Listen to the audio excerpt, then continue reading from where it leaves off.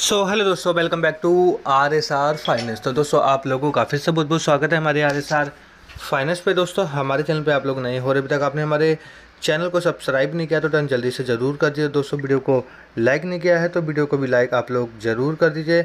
और भाई, मेरा आप लोगों से निवेदन है रिक्वेस्ट है, अभी तक आपने हमारे टेलीग्राम ग्रुप को ज्वाइन नहीं किया तो वीडियो के डिस्क्रिप्शन बॉक्स में आप लोगों को टेलीग्राम ग्रुप का लिंक मिल जाएगा। यहाँ पर दोस्तों, आप हमें ज्वाइन भी कर सकते हो।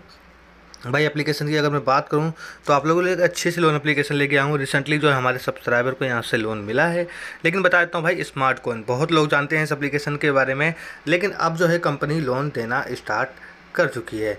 और यहाँ पर आप लोगों को कैसे लोन मिलेगा चीज़ बताऊँ? देखिए, अगर आपका सिविल स्कोर बेटर है तो आपको हंड्रेड वन परसेंट यहाँ से जो है लोन मिल जाएगा। अगर आपका सिविल स्कोर बेटर नहीं है तो भैया यहाँ से आप लोगों को लोन नहीं मिलेगा। जी हाँ दोस्तों, अगर सिविल स्कोर अच्छा है तो ही मिलेगा, वरना नहीं मिलेगा। स्मार्ट कोइन जो एप्लीकेशन है, ये N B F C R B I register है और यहाँ पर जो भी लोन मिलेगा आपको, वो मिलेगा ई एम आई के थ्रू ना कि आपको सात दिन का लोन मिलेगा भाई ई एम आई के थ्रू मिलेगा, चाहे आपको एक हज़ार का लोन क्यों ना मिले, वो भी आपको दो या तीन महीने की ई एम आई के थ्रू ही मिलने वाला है। काफ़ी ज़्यादा बेटर एप्लीकेशन है, एक बार ट्राई ज़रूर करिएगा, आपको हंड्रेड वन परसेंट यहाँ से लोन मिलेगा।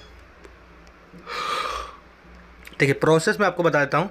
यहाँ पर कंपनी की जो लिमिट है, वो है एक लाख रुपए तक की। देखिए, एक लाख रुपए का लोन लेने के लिए आपको काफ़ी सारा टाइम लगेगा, क्योंकि अगर आप टाइम टू टाइम रीपेमेंट करते रहोगे तो आपकी जो लोन एलिजिबिलिटी है, वो धीरे धीरे जो है इंक्रीज़ होती जाएगी।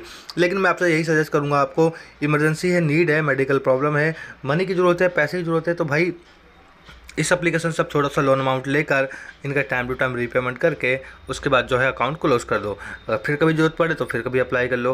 भाई देखो, ऐसी एप्लीकेशन को आप हमेशा इमरजेंसी या अर्जेंट में ही यूज़ करो। ना कि आप उस ऐसा ना करो कि भैया एक ले लिया हमने, उसका रीपेमेंट करके दूसरा ले लिया, फिर ले लिया, फिर उसमें क्या होता है, बंदा ना फंसता ही जाता है, फंसता ही जाता है, ले लेके फंसता ही जाता है। तो भाई मैं यही सजेस्ट करूँगा, अगर आपको नीड है इमरजेंसी है तो ट्राई ज़रूर करिए। बेटर एप्लीकेशन है N B F C R B register है ट्राई ज़रूर करना, आपको मिलेगा ज़रूर। और दोस्तों, वीडियो को लाइक और चैनल को सब्सक्राइब करना बिल्कुल भी ना भूलें और बेल आइकन नोटिफिकेशन को भी ऑल करके आप लोग ज़रूर रखिएगा।